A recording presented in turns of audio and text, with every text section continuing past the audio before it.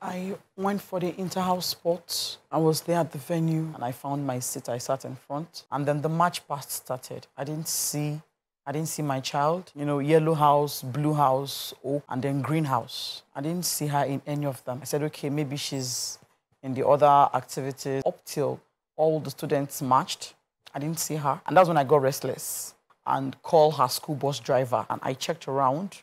I didn't see her. I was like, ah, I know how much this girl had prepared to take part in this event. Why is she not here? And I asked the boy, please, have you seen um, Whitney? Whitney Adeniran? He said, the girl that slumped, her name is Whitney. I said, no, my child's name is Whitney Adeniran. And I brought out my phone.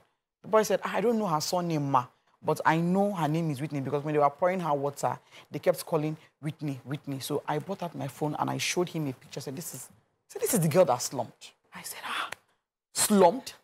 How? She had breakfast.